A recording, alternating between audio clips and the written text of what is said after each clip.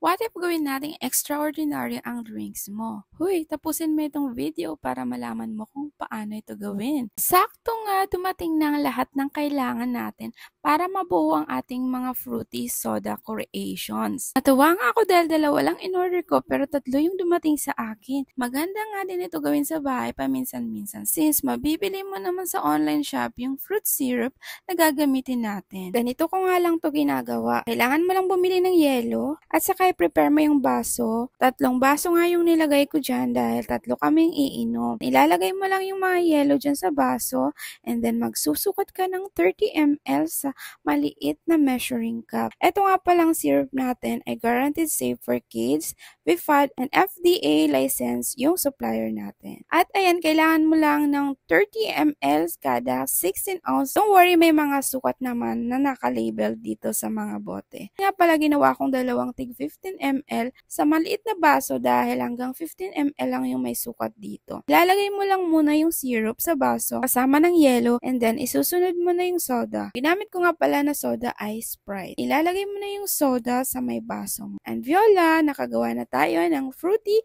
soda gamit ang orange flavor na syrup. Gumawa pa nga ako ng isang baso dahil yung request ng anak ko ay orange din. Ganun lang pala kadali yung paggawa ng fruity soda.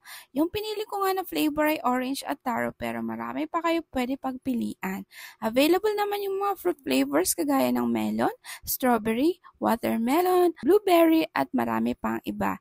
I-check mo na lang sa yellow basket para makapili ka. Ayan, nakagawa na ako ng dalawang flavors ng fruity soda. Kaya kung ako sa'yo, subukan mo na rin. Maganda itong pang negosyo, masarap pa at abot kaya ang presyo. Gagawa pa ako ng ibang DIY gamit ang mga syrup na ito. Mag-follow ka para ma-update ka sa susunod kong video. Kung gusto mo rin ng mga syrup, nasa yellow basket lang yan. Kung umabot ka nga hanggang dito, thank you so much and see you sa next vlog.